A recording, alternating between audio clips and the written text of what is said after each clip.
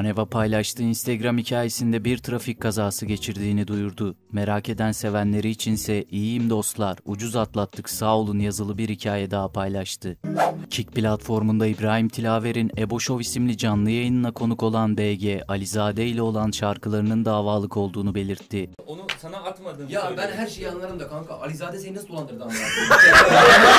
Kanka davalık şu an. Tamam ee yani şarkılar davalık. E, haklarında hayırlısı yolları açık olsun. Allah'a emanet. Programın ardından Alizade X platformu üzerinden birinci verdim deyip sonra vermedim denmez. Paylaşımında bulunurken BG de yine Instagram ve X üzerinden göndermeli paylaşımlarına devam etti.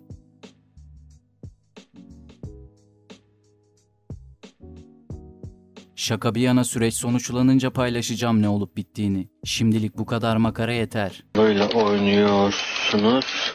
Paramı geri istiyorum. Paramı geri istiyorum. Tamam. Ben sadece insanlara kömek etmek istedim. Onlar benden istifade ettiler. Label C5 Spotify'da 6 milyon dinleyiciye ulaştı ve bu sayıya ulaşan ilk Türk rap sanatçısı oldu. Motive 26 Nisan'da ilk bölümünün yayınlanması beklenen Taycan isimli albümünün tracklistini paylaştı. 7 parçadan oluşan ilk bölümde herhangi bir düet yer almazken prodüktör olarak Cleo, Segah, Pango ve Arda Diyar yer alıyor.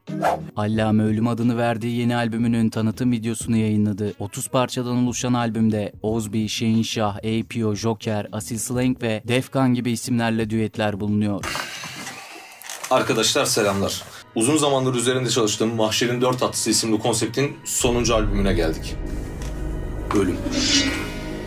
Mahşer'in Dört Atlısı.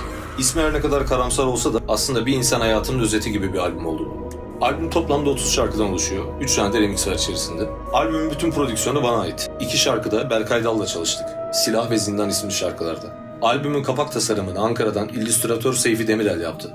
Albümde birkaç parçaya klip çektik ve görüntü yönetmenliğini Taha Baydemir üstlendi. Albümde çok önemli düetler var. Neyse. Çok önemli isimler var. Onları da burada görüyorsunuz zaten. 26 Nisan Perşembe günü bütün dijital platformlarda yayında olacak. Ölüm albümü için birçok lansman konseri gerçekleştireceğiz. Albümün ilk lansman konserini İstanbul'da 9 Mayıs'ta İF Beşiktaş sahnesinde yapacağız. Birçok sürpriz sanatçı konuğumuz olacak. Bu konseri kaçırmak istemezsin. Çıkışa çok az kaldı. Biraz daha sabredin. Şimdilik şunu oynayalım. Sefo İmparator isimli ilk stüdyo albümünü eğlenceli bir tanıtım videosuyla birlikte duyurdu. Merhaba arkadaşlar ben Sefo. İlk albümüm 26 Nisan Cuma günü yayında keyifli dinlemeler.